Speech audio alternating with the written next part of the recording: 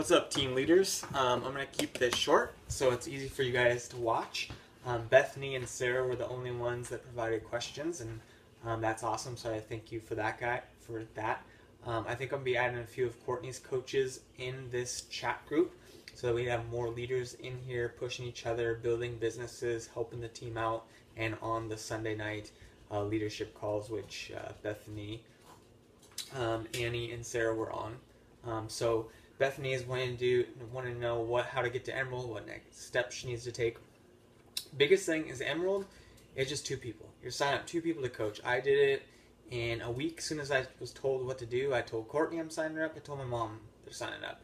Um, I said this is going to help my business out. So usually when you get to Emerald, it's going to be people in your family and friends who are probably going to be discount coaches to help you get started with your business. You're more than welcome to invite other people too. Like definitely do that, but usually it's going to be a family and friend that gets you to Emerald. Um, and how do you do that? Is just offer them the, the business opportunity. Sorry, Zoe. Zoe, get out of the food. Um, the opportunity for the business, the team, the support, the opportunity for them to build their own business. They get discounts on the products and programs. You just got to talk to people. You just got to open up and not be afraid and say, hey, I'm starting this business. It's helping people with health and fitness.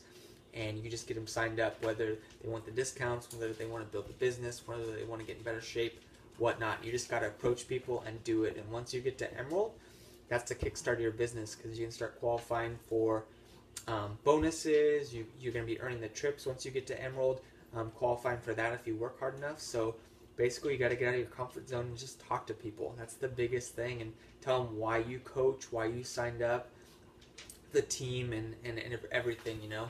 Um, so that's what I would do, Bethany. Uh, Sarah, uh, feeling overwhelmed and finding the time to, to make it work.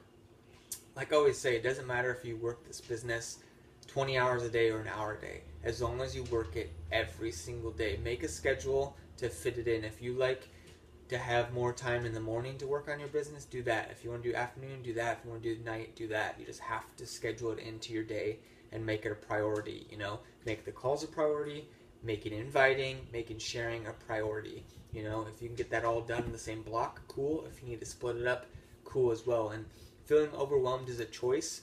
I was there as well, you know, it's because you bring it on yourself. And having a set schedule and a laid out time of when to do things and when you get it done helps ease that overwhelm factor. Um, because when you log onto Facebook or Instagram, whatever, and you get all these notifications and all this stuff, only pick and choose what you want to do at that time. You know, you don't have to do it all at once. Like I don't check my phone at certain times of the day. I don't check Instagram messages at certain time of the day. My Instagram inbox, I have six messages right now.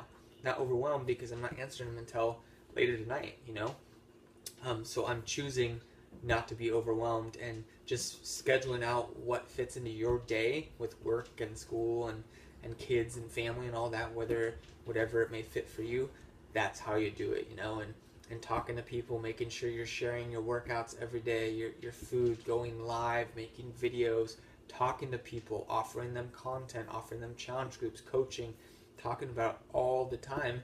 The consistency factor builds up, you know, and, and you guys are all leaders, but you have to believe in it. And the biggest thing I can tell you is if you're not doing personal development, you need to do it because if you don't believe in yourself, then you're not going to do the things I'm telling you. You're just going to nod your head and go, uh huh, uh huh and then not do the action and wonder why you're not successful.